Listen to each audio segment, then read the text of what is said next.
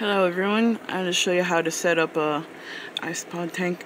Um, first you want to know, first, there, there he is, there's one right there. Um, what do you need, what you need to know is, um, you have to get a, five, a minimum of five gallons. Look at him right there. Hey buddy. You have to have a minimum of five gallon tank. Alright, I'll close it so um, minimum of five gallon tank. Um, what you need to put in there is um, potting soil. It has to be no pesticides.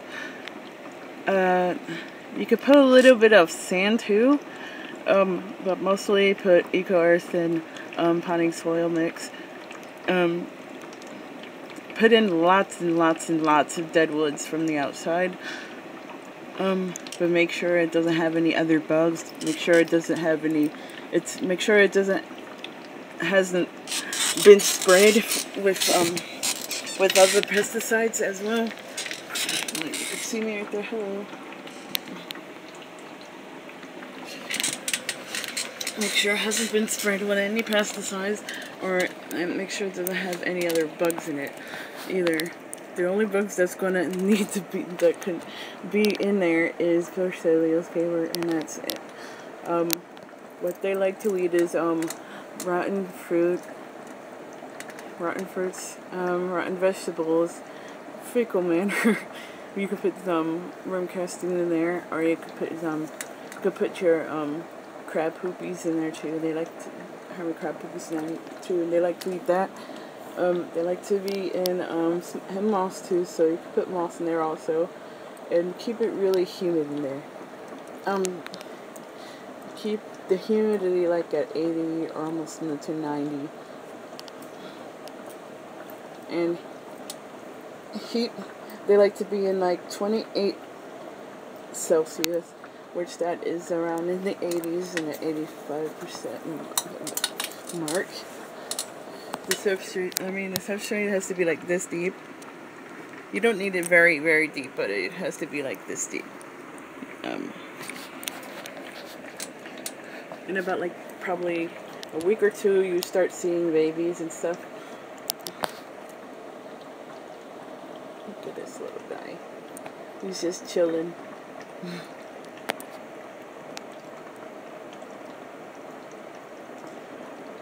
what I have in here is cork bark and some dead leaves from a plant.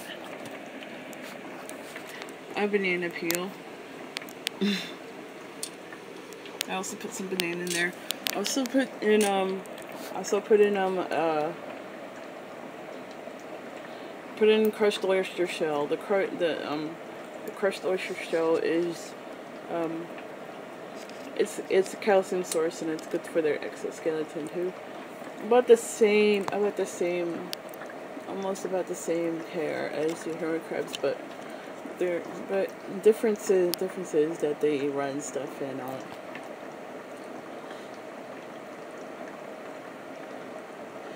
So when you're start doing a starting colony, you could do like um, 20 or to 20 or 30 of them. I got 30 of them in here, but they all starting to started to hide and everything. uh, this nice big one right here. Isn't it cute? Huh? well, he's just resting right now.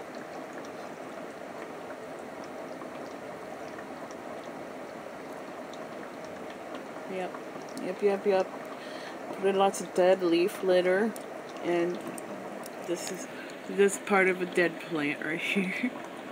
I put chia seeds in there and then some of the sprouts are growing too. They like to eat roots also.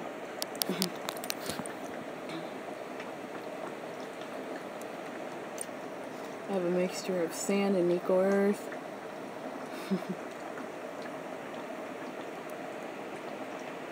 I have this wood piece in the way, so um, I don't really like to look the lid because I've broken the lid in the last my hygrometer is reading. That's what the hygrometer reads.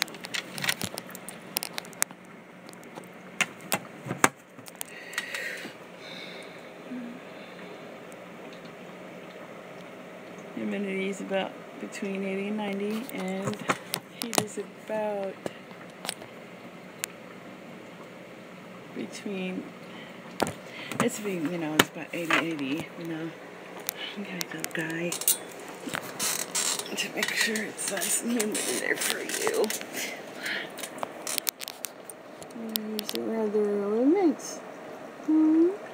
he's just chilling. I'm to spray in there for you a little bit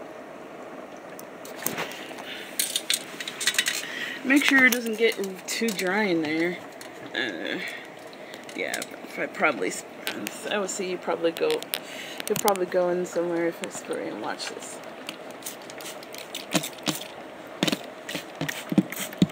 Or he's just chillaxing. Yeah, he's just chilling.